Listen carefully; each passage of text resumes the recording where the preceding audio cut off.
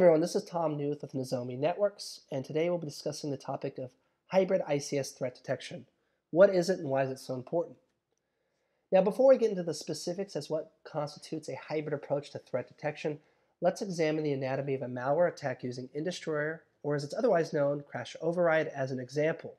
Now, Industroyer just recently, as the summer of 2017, downed the grid in Kiev as a response to the invasion of the Crimean Peninsula and then spread globally to affect everything from transportation networks to manufacturing facilities, especially in Asia and Europe. So it's a big deal.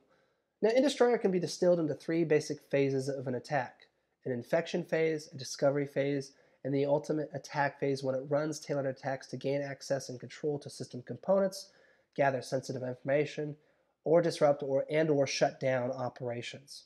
Thus putting you on the headline of the front page of the newspaper under the title cyber attack where you don't want to be. So how can you assess if an ICS cybersecurity solution out there has a hybrid ICS threat detection component to it? And how can you actually assess how uh, robust and comprehensive that threat detection suite is? Well, first and foremost, you want to evaluate their ability to conduct anomaly detection. It's not enough to simply say that you have anomaly detection. It needs to be tested in a POC format because anomaly detection is relevant across all phases of a would-be Industroyer attack.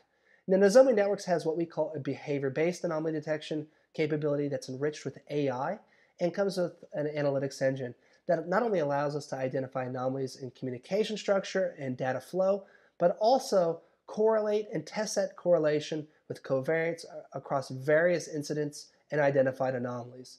In other words, if you have a geo-distributed network or expansive plant or network, uh, network of operations, you're going to have various alerts or incidents that might have an underlying cause. In this case, it could be Industroyer. Uh, and you wouldn't otherwise know that if you did not have a comprehensive anomaly detection capability.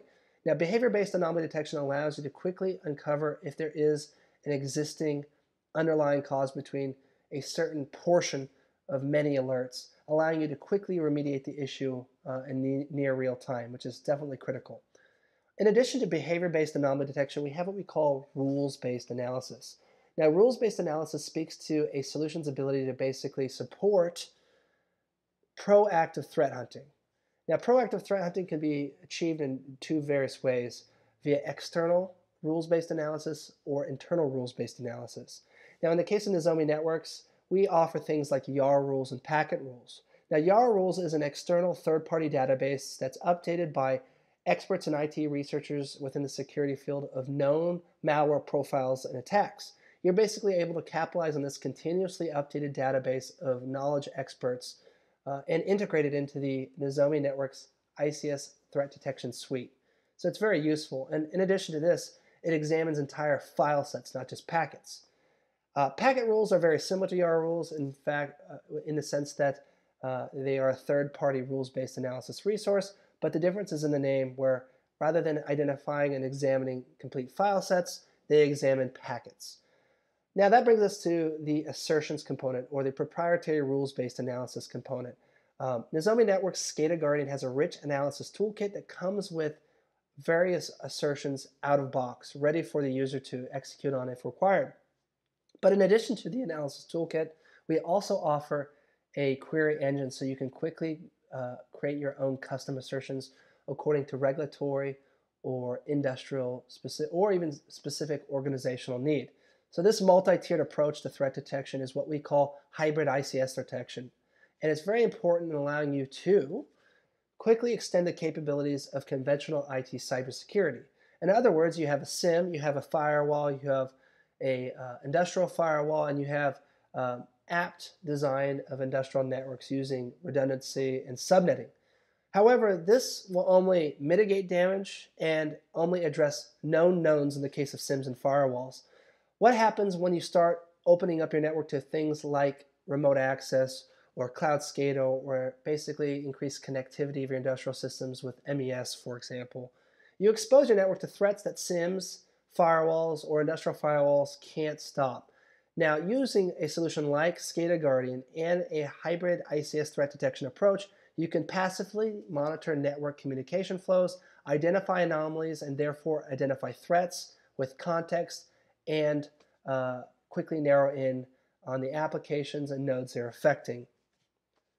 Now, what does this look like in terms of a use case perspective from our vantage point? Well, thanks to anomaly detection, all deviations from a baseline can be alerted at different levels. A new incident, for example, is identified with context. A new communication is detected in this circumstance with an associated risk rating. You're able to quickly open up those incident details and draw even more details and context. In this case, a rogue MAC address is uh, identified, a new Modbus connection is detected, and a Modbus reprogram command is detected. And a PCAP or packet capture is taken prior to, the moment of, and the moment following the event for post-mortem or uh, forensic analysis or reporting needs. Now, that concludes our short explainer video on hybrid ICS threat detection and why it's important. For more information on uh, hybrid ICS threat detection, as well as real-time visibility and asset inventories, and more about the Nozomi Network solution, please go to nozominetworks.com. Once again, this is Tom Knuth from Nozomi Networks, signing off. Thank you.